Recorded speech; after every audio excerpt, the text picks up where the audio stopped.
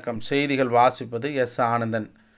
ஐந்து மாத காலமாக ஊதியம் வழங்காததால் குழந்தைகளுடன் உண்ணாவிரத போராட்டத்தில் ஈடுபட்ட நன்னிலம் கல்லூரி பேராசிரியர்கள். திருவாரூர் மாவட்டம் நன்னிலத்தில் அரசு கல்லூரியாக மாற்றப்பட்ட பாரதிதாசன் பல்கலைக்கழக உறுப்பு மற்றும் அறிவியல் கல்லூரியில் அறுபது கௌரவ பேராசிரியர்கள் மற்றும் எட்டு அலுவலக உதவியாளர்கள் தொகுப்பூதிய முறையில் பணியாற்றி வருகின்றனர். இவர்களுக்கு ஐந்து மாதமாக சம்பளம் வழங்கப்படவில்லை. இது தொடர்பாக அரசின் கனிவான கவனத்திற்கு பலமுறை எடுத்துச் செல்லப்பட்டது.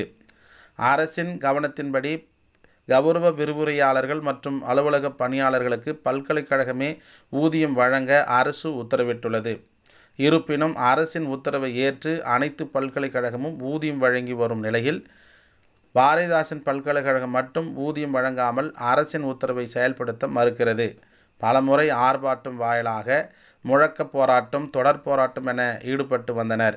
இதுவரை ஊதியம் வழங்கப்படவில்லை என்பதால் ஊதியம் வழங்காத பாரதிதாசன் பல்கலைக்கழகத்தை கண்டித்தும் கல்லூரி வளாகத்திற்குள் ஊதியம் வழங்க வேண்டி குடும்பத்தினருடனும் குழந்தைகளுடனும் உண்ணாவிரத போராட்டத்தில் ஈடுபட்டனர்.